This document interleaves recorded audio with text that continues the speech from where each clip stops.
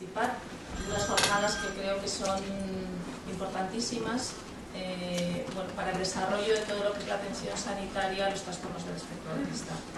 Yo os diría que no compréis el libro para nada porque es un rollazo y además tiene poco que ver con lo que estamos hoy aquí hablando. Pero sobre todo que es bastante tostado. A ver, espero que la charla sea eh, interesante. El planteamiento de esta, de esta ponencia tiene que ver con la incorporación de los servicios sanitarios al diagnóstico del autismo, que parece algo obvio, pero que no es una realidad ni ha sido una realidad durante las últimas décadas, eh, al menos en nuestro país, por distintas razones. Entonces es como una especie de introducción a por qué es necesario que haya un diagnóstico, dice médico, pero en realidad sería eh, poner énfasis en el diagnóstico médico, porque ya otros compañeros han hablado del diagnóstico globalmente de, autismo y no se trata de, que nos repitamos. Sabemos que el autismo tiene múltiples caras, yo creo que es la forma de empezar de muchas presentaciones sobre, autismo, eh, porque la variabilidad clínica, la heterogeneidad de los cuadros que nos encontramos es enorme y eso hace especialmente complicado el diagnóstico en general y el diagnóstico etiológico, que sería el diagnóstico orgánico en particular. No, creo no quiero crear falsas esperanzas, el diagnóstico etiológico o, orgánico todavía está muy lejos de los ideales que deberíamos querer alcanzar, porque en muy pocos casos conseguimos tener un diagnóstico certero. El contexto donde esto sucede que hayamos eh, tardado tanto en incorporar de una forma sistemática incorporar de una forma sistemática que creo que es eh, la realidad que vamos viendo hoy en día y que vamos a ver en el futuro, un diagnóstico médico a todo el diagnóstico del, autismo, en parte tiene que ver con la consideración y con el estatus que se, le ha dado al problema del autismo se ha hecho mucho énfasis y hay mucho más desarrollo en lo social y en lo educativo porque de alguna manera desde el ámbito de la discapacidad o del problema del autismo se ha considerado una discapacidad eh, o cada vez más un trastorno con discapacidad asociada eh, con mucha frecuencia. Entonces eso de alguna manera y de forma poco deseable ha hecho eso y, la escotomización, un poco la separación de las distintas instituciones sanitarias, educativas, sociales, ha hecho que de alguna manera eh, las instituciones sanitarias hayan estado alejadas del, problema del autismo. Yo creo que es un asunto pendiente que la Federación tiene clarísimo que hay que abordar y por ello lleva tres años haciendo estas jornadas y creo que tienen muchísima importancia. No me voy a meter en el debate de si es un trastorno, es una enfermedad, es una discapacidad o qué es, porque creo que eso es muy interesante corresponde a, otro ámbito y que lo que no debemos hacer es que ese debate haga que las personas con autismo no tengan los servicios y la atención que necesitan. Solo hay dos diapositivas como esta, que son un poquito complicadas, pero simplemente lo que quiero reflejar es que lo que hoy llamamos autismo es un conjunto de comportamientos, es decir, eh, de mm, maneras de funcionar observables desde fuera para los evaluadores pero en realidad es un cajón desastre en cuanto a eh, lo que subyace como patología biológica. Cada vez está más claro que el autismo eh, tiene origen multicausal, que hay un trastorno orgánico o que hay unas diferencias eh, orgánicas que subyacen a lo que es el comportamiento autista, que parten de una, pues un gen o varios genes o una situación ambiental tóxica la mayor parte de las veces durante el embarazo, eh, la mayor parte de las veces durante la primera mitad del embarazo, que van generando unos problemas en cascada, porque cualquier problema genético lo que hace es producir unas proteínas que no funcionan del todo bien, y entonces a nivel celular y después a nivel molecular y después los sistemas que van madurando a nivel cerebral, una especie de cascada de problemas que al final dan lugar al comportamiento autista donde tenemos más consenso para diagnosticar. Esta persona funciona de forma autista o no, es decir, tiene un problema en la interacción social recíproca o no lo tiene. Y si ese es su problema nuclear y prioritario, entonces lo llamamos autismo. Pero por detrás hay una caja negra de mal funcionamiento orgánico, distinto según las personas, pero que es absolutamente esencial estudiar y entender para ir avanzando y progresando en los tratamientos, en la comprensión y en la ayuda a las personas con autismo. Y esta sería la otra. Esto simplemente quiere representar una visión holística del autismo, donde una cosa es el diagnóstico, que son los síntomas visibles, y otra cosa es el origen que estaría ahí arriba y todos los mecanismos, unos más estructurales, otros más funcionales, es decir, unos más estáticos, otros más dinámicos, dependiendo también de los casos que están detrás y que es eh, la tarea de los eh, médicos, como si dijéramos, intentar escudriñar. Al final, el autismo, que es un síndrome con múltiples causas, como estamos diciendo, lo definimos por sus síntomas, esas definiciones van cambiando.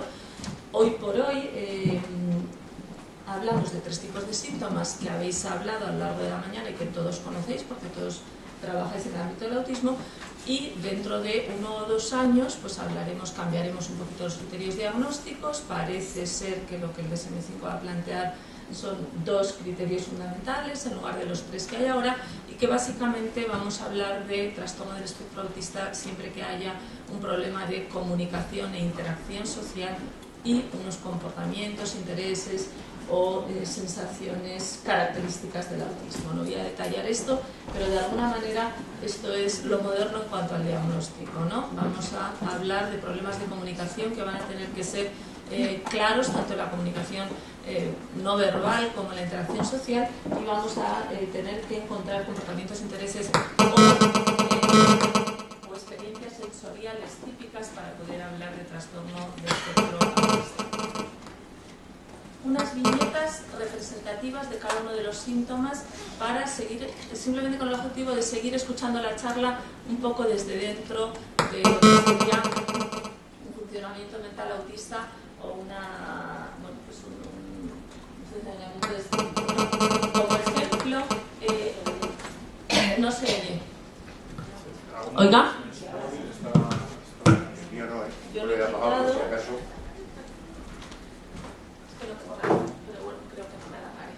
igual era ese. Vale.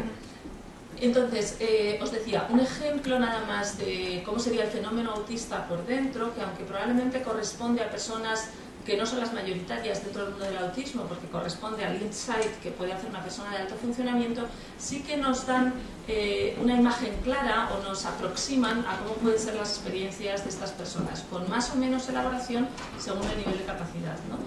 Pues en cuanto a la relación social, son personas que viven que no la entienden, que no la entienden, que no les entienden, a veces que no la aprecian, que no les interesa, bueno, de alguna manera que les falta ese comportamiento, esa inclinación y capacidad para entender las claves sociales que son tan característicamente humanas, ¿no? Eh, bueno, pues este tipo de, sensación ¿no? que puede una persona a lo largo de los años, cuando ya es adulta y tiene cierta capacidad de introspección, de incomprensión absoluta respecto al exterior. En cuanto a la comunicación verbal y no verbal, a modo de ejemplo, pues cómo lo vive una persona con autismo desde fuera, eh, sabemos que muchas personas no tienen lenguaje, que otras tienen lenguaje pero no se les entiende porque hacen construcciones difíciles, raras, porque no son las que hacen todo el mundo, porque no son un lenguaje espontáneo.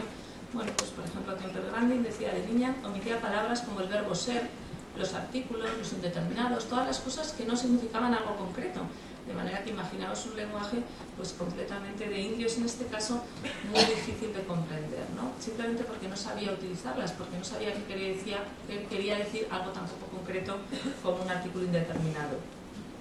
Las personas con autismo tenemos mucha dificultad para conceptualizar, entonces las cosas son concretas, concretas y la palabra que uno dice significa una cosa, no significa múltiples cosas. ¿no?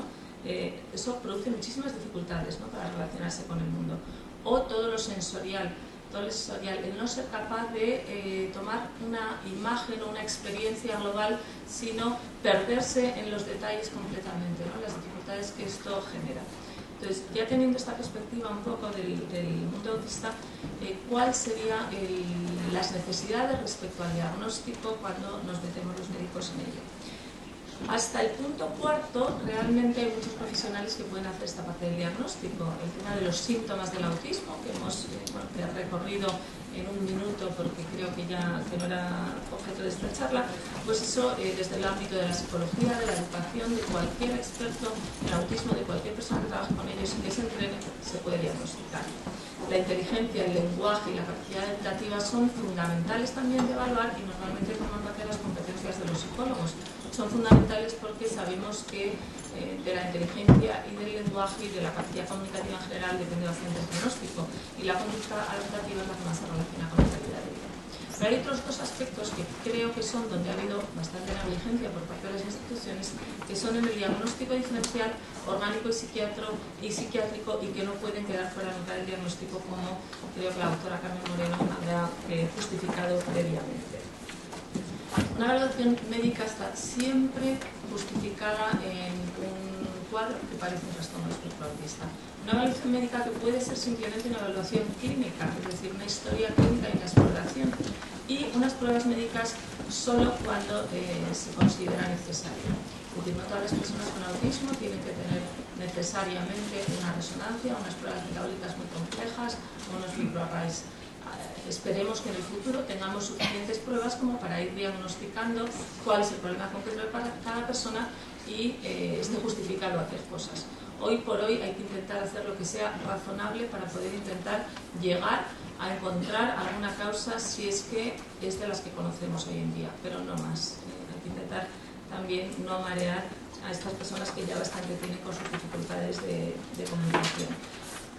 Voy a dar cuatro pinceladas porque el diagnóstico diferencial orgánico del autismo es tremendamente amplio y eh, sobrepasa claramente la capacidad de esta charla para entrar en él. ¿no? Pero hay una serie de síndromes conocidos, al final, menos del 10% de los casos podemos diagnosticar de forma etiológica, es decir, el comportamiento de esta persona autista tiene que ver con que tiene una delección en el cromosoma 15, que es importante de cara a ver si los padres también la tenían y podemos dar un cierto consejo eh, genético, o ver si es algo que puede aparecer en otros miembros de la familia o esta persona tiene un problema metabólico que se puede resolver quitando de la dieta no sé qué o dando en la dieta no sé qué, como por ejemplo con la fenilcetonuria. Hay pocas enfermedades, pero las que hay son eh, conocidas hasta ahora, pero las que hay es importantísimo no dejarlas, eh, que no queden desconocidas. Sabemos que el autismo cada vez más se considera una alteración de todo, eh, una alteración sistémica de todo el organismo no solo del sistema nervioso central. Cierto es que los problemas de comportamiento y los problemas de adaptación, de funcionamiento y al final los problemas fundamentales que tienen para la vida tienen que ver con la afectación en el sistema nervioso central. Pero cada vez hay más estudios donde desde distintos puntos de vista, distintas especialidades, distintos expertos van mirando cómo funciona el organismo de estas personas. Y con mucha más frecuencia de lo que se encuentra en la población general, encontramos alteraciones a las que muchas veces todavía no podemos dar sentido a nivel metabólico, a nivel inmunológico, a nivel de neurotransmisores, a distintos niveles. Repito que solo en muy poquitos casos eso nos lleva a un, diagnóstico que permita un tratamiento concreto, ¿no? que vaya al origen de las cosas.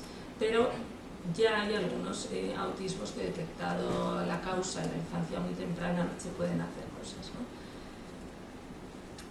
Eso es el objeto, os decía, de parte de, los estudios que es responsabilidad de los médicos hacer. Nos tenemos que implicar en el diagnóstico, hacer lo que es de nuestra competencia y que otros profesionales no lo pueden hacer porque si no se va a quedar sin hacer.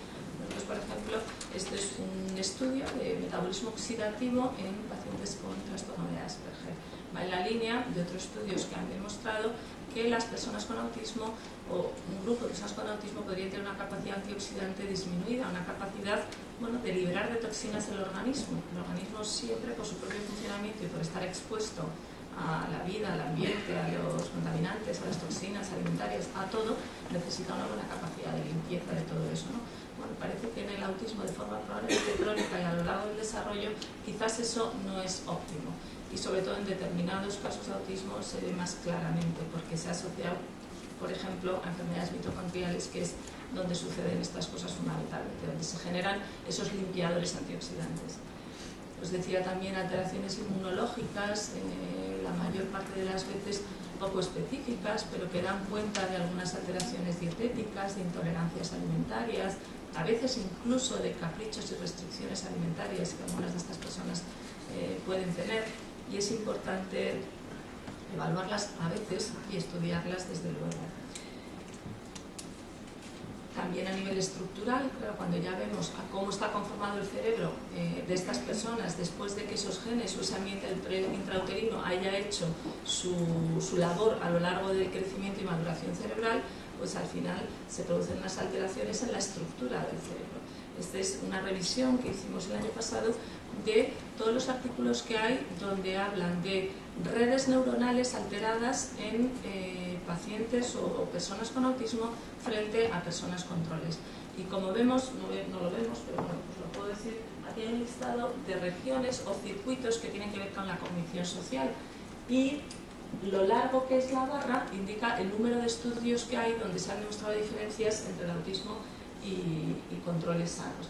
Entonces, sobre todo en regiones como el giro fusiforme, como la ínsula, todo lo que tiene que ver, zonas del, del, lóbulo temporal, todo lo que tiene que ver con lo que parece que se relaciona con la cognición social, pues hay una alteración de funcionamiento. Cada vez estamos intentando buscar más qué, alteraciones funcionales hay y no estructurales. La diferencia sería pues, que aquellas alteraciones estructurales son daño ya hecho y de alguna manera estático y estable, con lo que no vamos a poder hacer nada. Pero si encontramos alteraciones de funcionamiento, a lo mejor eso, si vamos a los mecanismos intermedios de enfermedad, a lo mejor podemos revertir algunos de los problemas que, encontramos. Las distintas guías de diagnóstico, de estudio de los trastornos de espectro autista, como esta, prácticas del año 2005, recomiendan distintos pero parecidos protocolos para hacer el diagnóstico diferencial, es decir, tengo una persona con autismo, ¿qué pruebas médicas le tengo que hacer? En relación con qué síntomas que yo vea o en relación con qué mm, eh, aspectos de la exploración física que yo encuentre en la persona tengo que hacer un electroencefalograma o tengo que hacer una prueba genética o tengo que hacer una resonancia.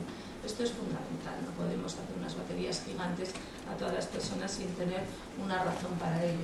En, esta en, este, en este protocolo, por ejemplo, eh, el hecho de que una persona tenga un fenotipo característico, es decir, fenotipo sería, pues más o menos tenemos unas formas reconocibles más o menos estándar, pero hay personas que de repente tienen los ojos con una forma muy diferente, con una separación muy diferente, o tienen los dedos de la mano también con una separación muy grande o un pliegue determinado debajo de los ojos. Cuando hay alteraciones dismórficas está muy justificado buscar causas orgánicas.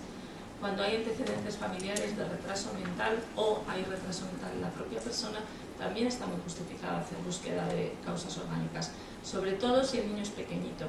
Hay enfermedades metabólicas que producen grave retraso mental y que si se tratan en la infancia pueden evitar que ese retraso mental permanezca. Si ya tenemos una persona con mucho retraso, con 30 años, pues ahí no, nos va a dar un poco igual, porque esa alteración metabólica ha influido durante el desarrollo y la construcción del cerebro, como si dijéramos, la conformación del cerebro. Entonces esas cosas las tenemos que detectar pronto. Entonces, ante un niño con una grave discapacidad en la infancia, y si hay antecedentes familiares, o hay retraso mental, o hay un fenotipo determinado, hay que hacer pruebas.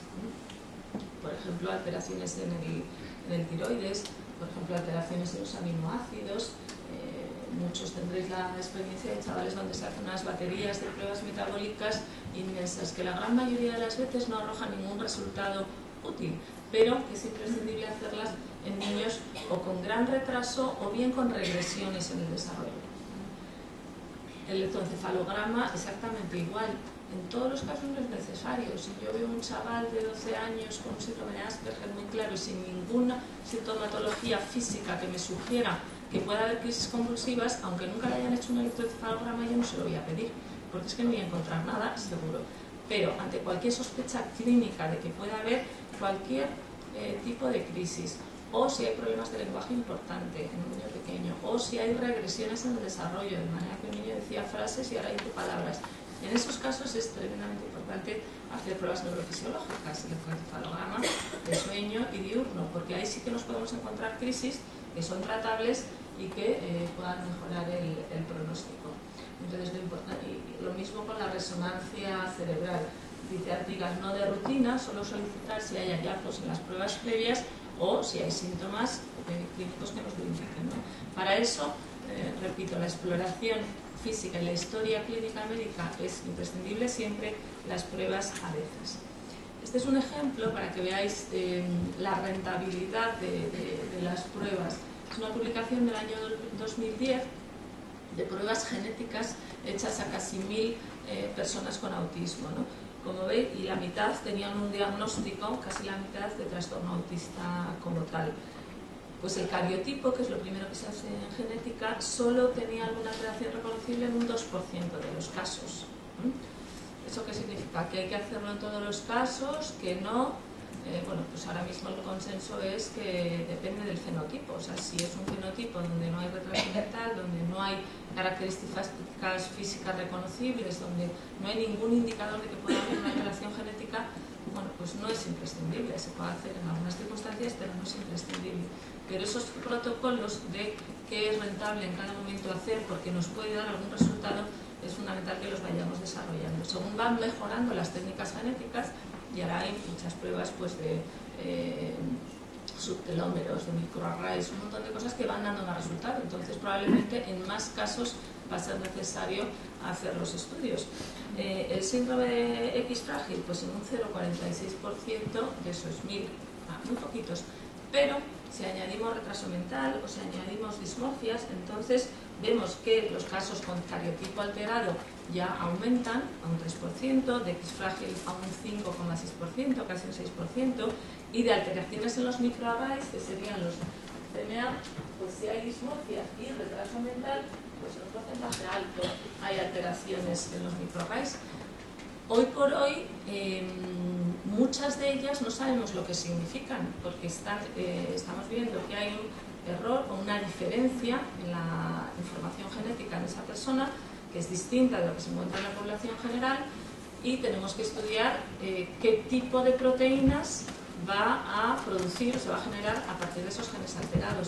Entonces, bueno, pues vamos teniendo catálogos de genes y de regiones eh, del ADN que vamos sabiendo lo que sintetizan y qué proteínas dan y entonces vamos sabiendo cada vez más de eh, si son funcionales, si no son funcionales, si eh, pueden ser eh, mutaciones espontáneas o vienen de familia. Entonces, bueno, este tipo de pruebas hay que hacerlos tampoco con una expectativa muy alta de que a uno le van a dar el diagnóstico concreto. En pocos casos va a ser así. En otros casos es incrementar un poquito el conocimiento sobre esto que al final va a redundar en un diagnóstico más preciso en muchos casos. ¿no? Os voy a presentar unas poquitas diapositivas, muy pocas, de un estudio que hemos hecho muy, todavía muy preliminar, no hemos hecho todavía análisis estadísticos ni nada, pero lo que hicimos fue coger 200, los primeros 200 pacientes que llegaron con un diagnóstico de autismo o bien a AMITEA o bien a servicio de neuropediatría en un periodo determinado y ver que a nivel orgánico qué cosas tenían, ¿no? qué pruebas se les habían hecho y también qué resultados había de esas pruebas. Entonces, a modo de, de ejemplo simplemente, porque aunque decimos que la mayoría de las veces no encontramos nada, nada significativo que nos lleve a un tratamiento, ¿no? pero pequeñas cosas encontramos siempre que nos indican que ese organismo bueno, pues tenía alteraciones eh, a nivel generalizado desde muy pronto. Por ejemplo, en estos 200 pacientes nuestros atendidos, un 24% habían tenido un ingreso en el periodo neonatal, mucho más alto que la población general. ¿no? Muchos habían tenido o problemas de, ser pretérmino, ¿no? de antes de tiempo, de sufrimiento al final del embarazo o de desarrollos intrauterinos lentos, que es ese DRI, ¿no? de ser más pequeñitos de lo que les correspondería. Es decir, ya nos va dando cuenta de que había problemas de crecimiento global, probablemente también cerebral, desde muy prontito. ¿no? Eh, crisis convulsiva, en estos 200 solo había cuatro, muchos más con alteraciones en el electroencefalograma, pero con crisis clínicas solo cuatro. En esa infancia, claro, en, esa, en ese periodo neonatal, luego a lo largo del tiempo muchos más. Ictericia en 11 casos, sabemos que bueno, pues un 24% son muchos, ¿no? son 50 chavales que habían ingresado en servicios de neonatología. De toda la muestra de 200 pacientes, 90 eh, tenían hecho un electroencefalograma. De esos, el 70%, un poquito más, era normal y un 18, casi un 20% tenían alteraciones. Hombre, ya es un número que parece que merece la pena. No se había hecho a todos, probablemente ese 10% era gente que es que no había ninguna clínica que pudiera sugerir que hubiera alteraciones, pero tenemos que ir afinando eso, tenemos que ir afinando el seleccionar bien esos pacientes que necesitan más pruebas o, menos pruebas. ¿no? De estos mismos 200 pacientes, un 14% eh, tenían crisis convulsivas eh, activas.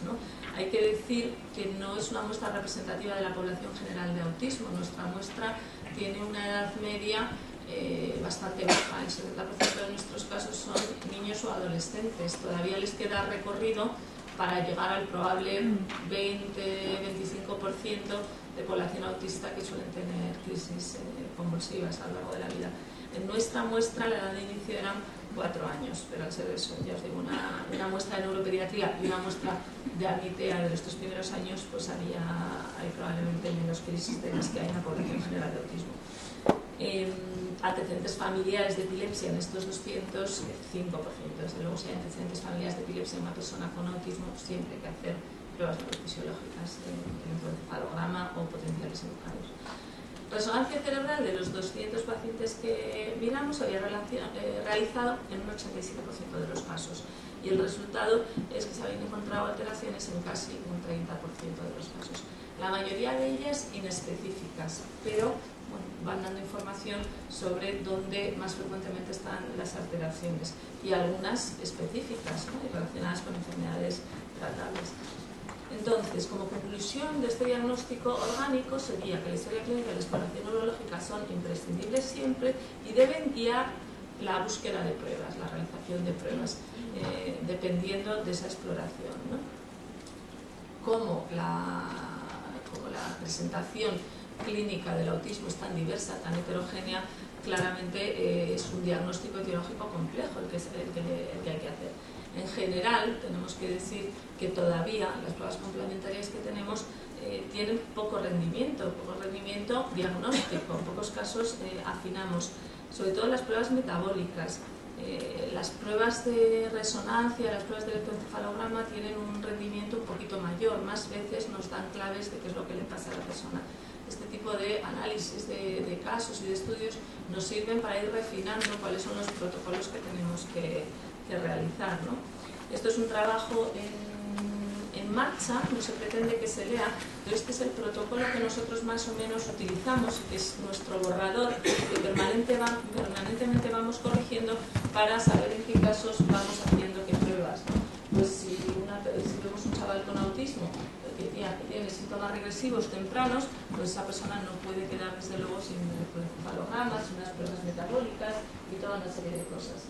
Eh, si es una persona que tiene retraso mental o alteraciones dismórficas, entonces es imprescindible hacer un estudio genético. Cuando hay síntomas gastrointestinales, también hacemos un estudio gastrointestinal, eh, en este caso la mayoría de las veces con, poco, con poca especificidad de resultados. ¿no?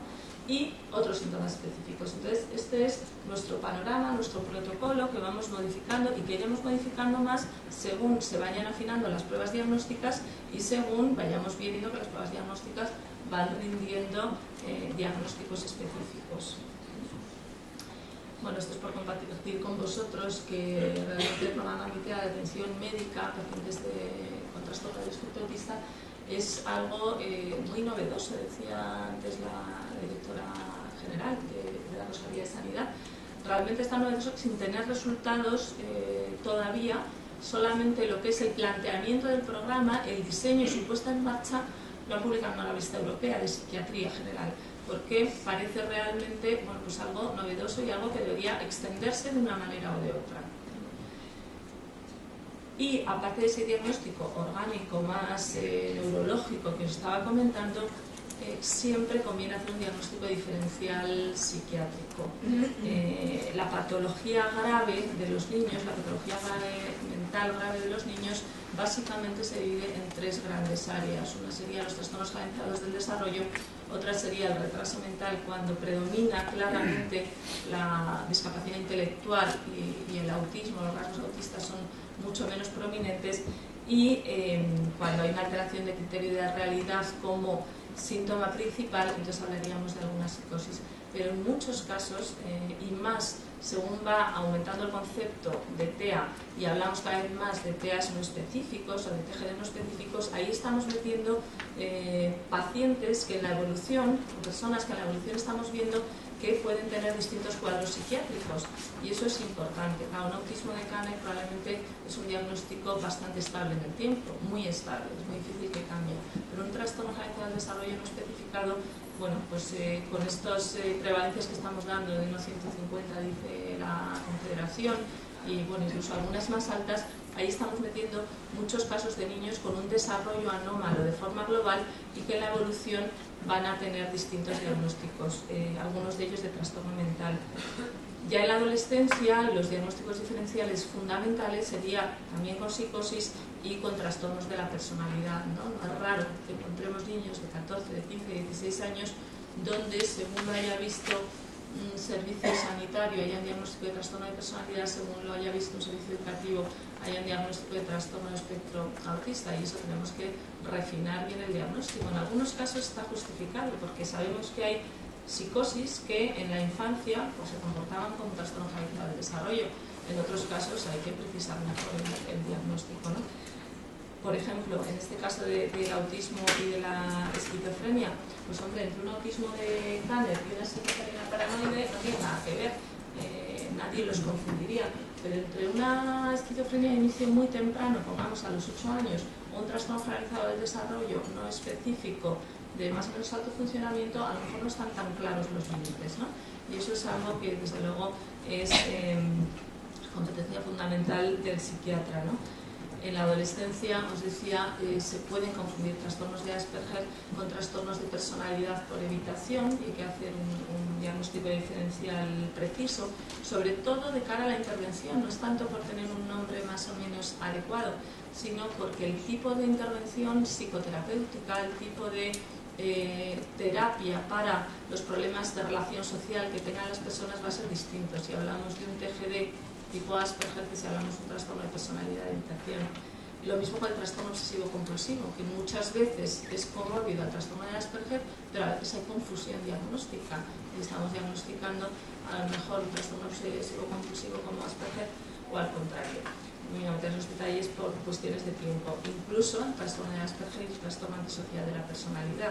La imagen que quiero dar es que el trastorno de Asperger, cuando no se diagnostica temprano, cuando empieza a aparecer en la adolescencia, es un diagnóstico complicado y que conviene hacer un diagnóstico diferencial eh, claro. Bueno, y no me voy a enrollar más, quiero dejar un poquito de tiempo para la, para la discusión o para preguntas. Eh, quiero agradecer a todo el equipo de la Trabajo, agradecer a la Federación y invitar a que se sigan ahondando cada vez más en lo que es el, diagnóstico médico, el diagnóstico diferencial y el tratamiento de estos trastornos, que creo que es la pata en este momento más floja de todas las que sustentan el, el autismo. Muchísimas gracias.